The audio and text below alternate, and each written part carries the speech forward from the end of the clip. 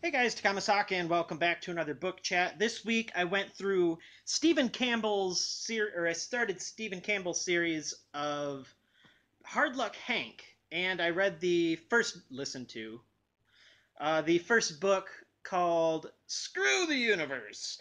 Uh, what Hard Luck Hank is, is he is on a space station with like this gigantic city, like it seems like nobody knows the population of it it started off as like there must be a million people here and there's like well there must be a hundred thousand people here and i think by the end of the book it was down to like 80000 but anyway they're in this really remote part of space. Um i can't remember the race coal cold colder something like that.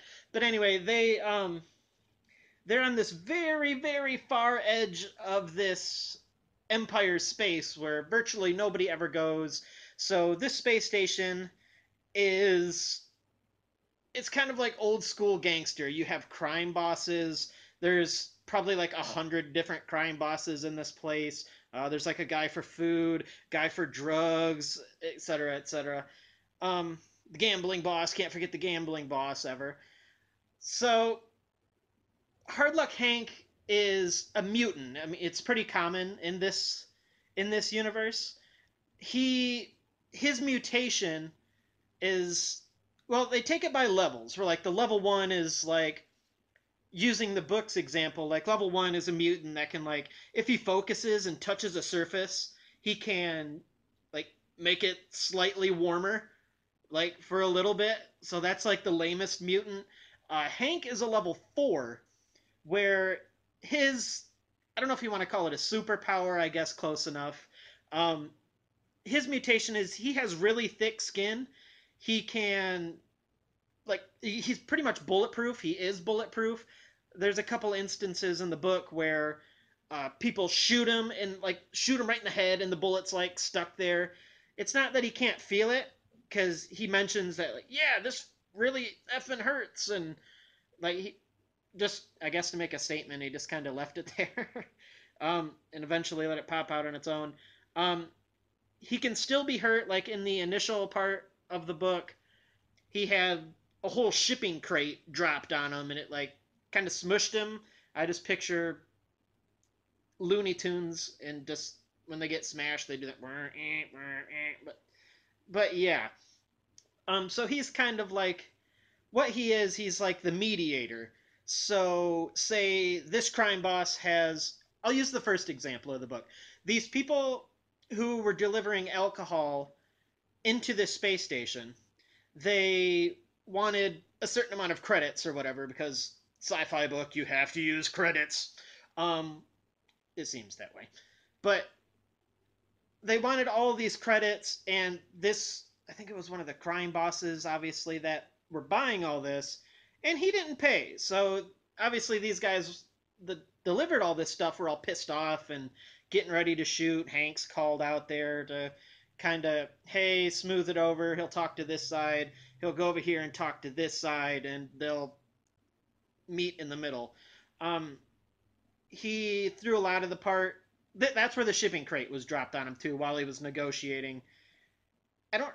It didn't seem like it really explained whether it was done on purpose or by accident. I'm assuming it was on purpose to try to kill Hank, but but yeah, they had to yank him out, and they ended up like ripping his pants off, and it's just it's a really bizarre book. It's it's like half comedy, half science fiction, and half something else. So you add those percentages up and say I'm sane. But uh, just what that is like so much of the first 75% of the book is Hank uh, visiting these people to either negotiate for person A to person B, or he's doing a job. Like there are these mutants that come in, apparently a really hot mutant with blue skin and flappy ears. Uh, her name was Jian, and then she is a mutant herself, where she's she claims to be a level four also, but she can like shoot lightning out of her fingers and electrocute stuff, I guess. But she has a brother who nobody knows is a level 10 mutant and people are chasing them and apparently it seems like the only way this guy can use his powers is by just taking a buttload of drugs, injecting whatever, getting completely bombed. Um, and somehow this like he can change the entire environment. At one point he I don't know if he knocked everybody in the space station out. He was they went to this bar and Hank got called off to talk to one of the one of the leader one of the boss leaders or the crime bosses. And he, while he's talking to them, I believe it mentioned like somebody came over and they're being like intimidating and being d bags to Jian or something, and he lost it. And his like eyes start to glow. Hank comes running out because this crime boss just passed out on the floor. Why it didn't affect Hank, I I don't know. Maybe because of his thick skin, but yeah, like the whole space station is completely unconscious, and they eventually wake up. They think they said like six people even died from that happening. Hank can't explain it because he's a man of his word and told Jian that she wouldn't he wouldn't tell uh the like the head security person. Oh god, I can't remember her name. I'm so crappy with names. Just give me a break with that. Um yeah, he can't tell this like leader of security because he also works for her and there there seemed to be a lot going on in the book. There's this story with those two mutants there's Hank's main storyline and just the back quarter of the book. Holy God. Um, getting there. the okay, so he's earning credits for doing all these weird jobs. He occasionally kills people, but he only does it if he usually if he really has to. He killed a crime boss near the end of the book by blowing his head off with this quadruple barrel shotgun he's got. Um, he had this, I believe they called it Untankian, something like that, some kind of technology where it's like a little pistol that he didn't really know how to use, or he knew how to use it. It's just a pistol, but he turns it on, it would glow green, and he was always afraid to use it because the lore of these things is because they're so old, they just right in your face and kill everybody. Um, there was a time where he, there were he did fire it twice. He ends up losing the gun, um, the first time he fired it, it goes through this machine race that were sent there. It never really did it specify why they were there. I think it was because they were after this level 10 mutant and they never found him because well Hank ended up kind of killing both. He kills one definitely.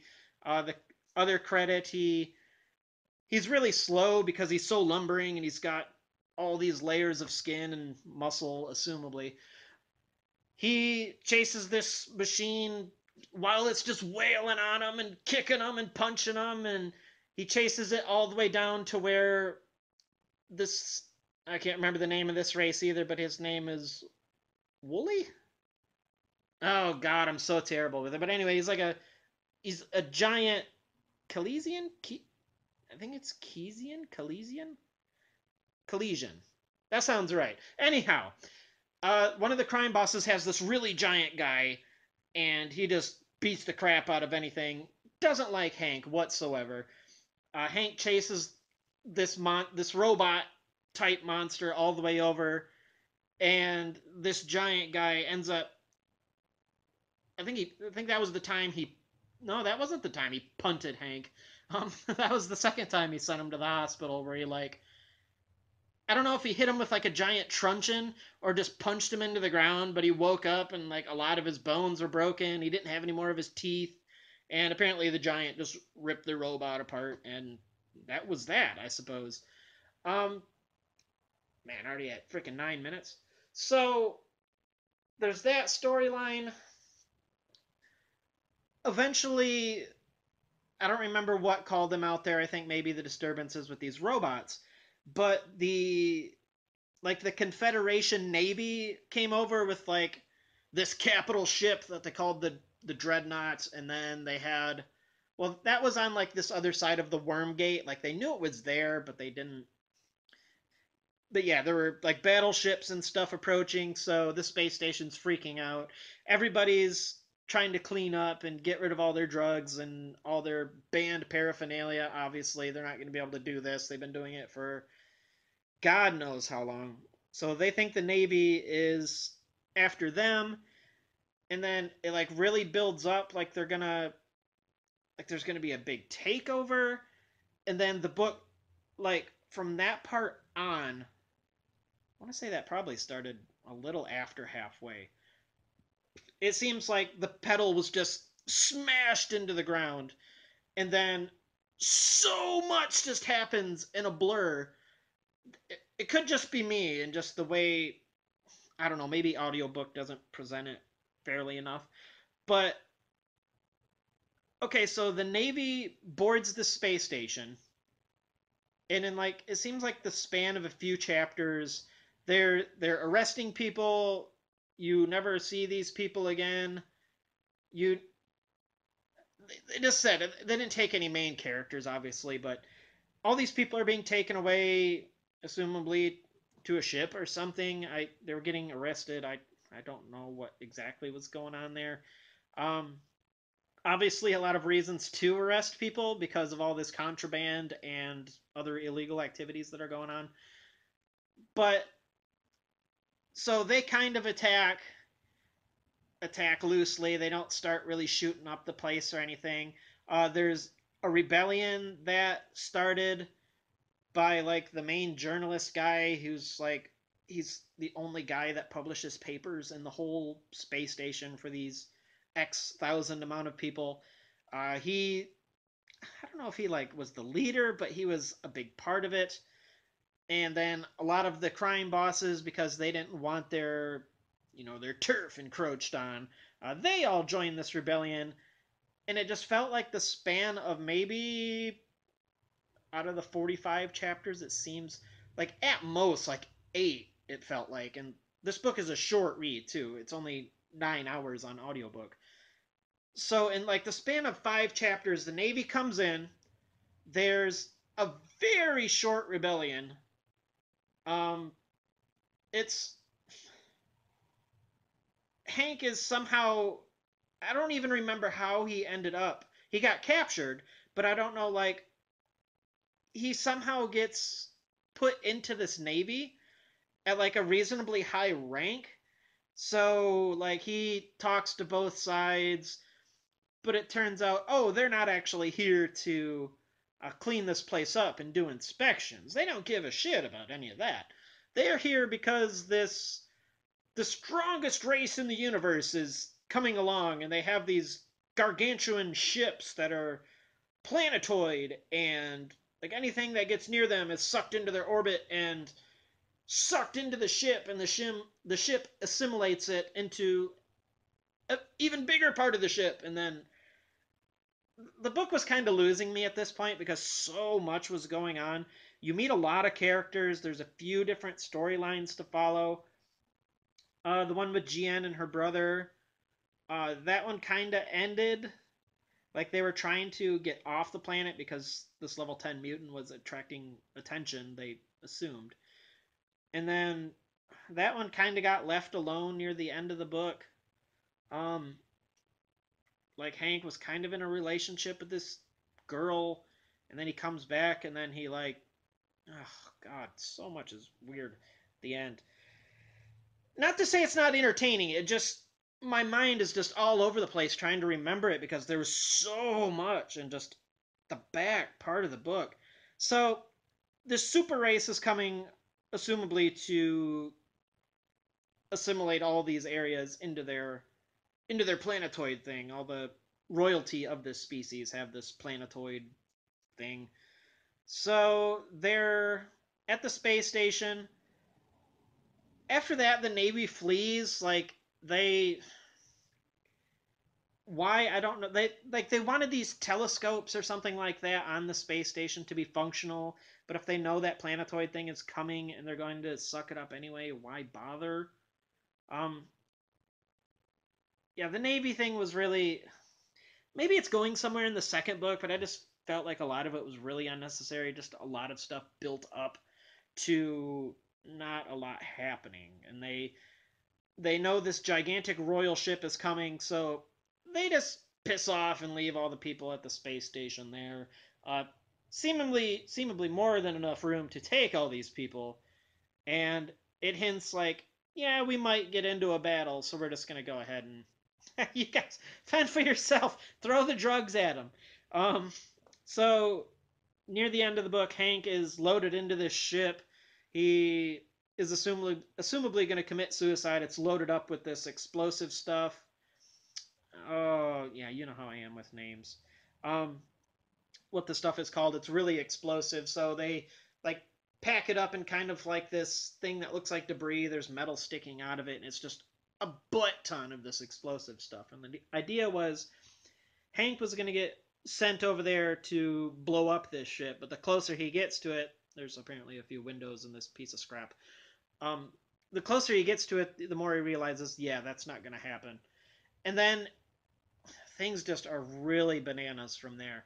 So he is taken into this gigantic ship, somehow didn't die. He wakes up by these weird alien creatures, the Lu or something like that. Um, they're like the servants of this big race. They they wake him up.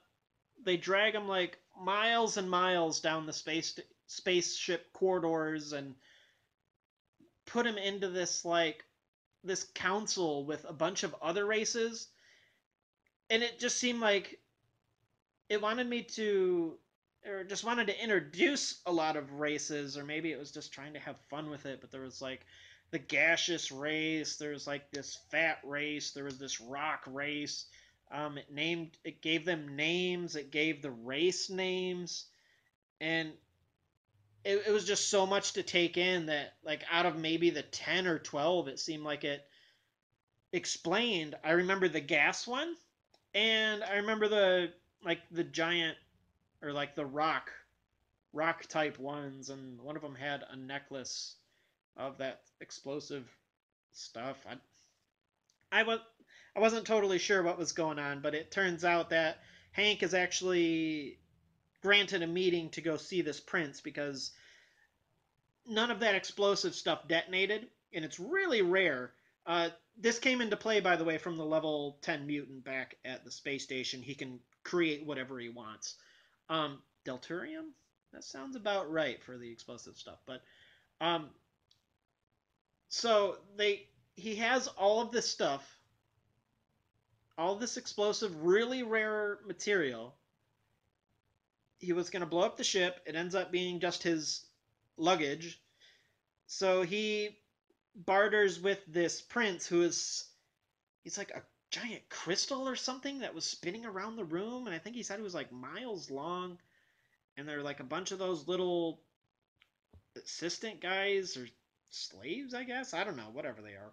Um, helping him out for whatever reason. And then it's negotiated that, okay, this giant planetoid thing will go piss off elsewhere and go attack this race. Dal- Galmekian? Dalmekian? the the machine, the robots that came and attacked the space station earlier, it's agreed that. Well, I think they agreed on that. God, so much was going on at the end of the book. Um, so allegedly, if I recall correctly, this giant planetoid was going to go after this metal race because for whatever reason it needs planets. So it's either negotiate this where they're going to give this race all of their output of this explosive stuff. I got about a minute. So um give all this explosion stuff, and the big planetoid thing will go piss off and allegedly attack somewhere else. They said it needed 100 of some planet and then like 300 of another planet to keep growing for some ra- reason this race needs to it's like their thing to expand so i had a really hard time as i've mentioned about 24 times in this book i had a really time hard time sticking with it at the end but that is essentially all I'm going to say for the first book of Hard Luck Hank. I looked at the covers of the Goodreads reviews. I haven't read any of the reviews for any of the books yet. I probably should, but uh, the the score goes up, which it usually does when you have series like this. So I will leave it at that. And if you want to give it a read, it is Hard Luck Hank, Screw the Universe by Steven Collins. uh, feel free to give it a read. I'll recommend it. It's good fun if you're into sci-fi stuff. So this is Takahmasak. I'll see you later.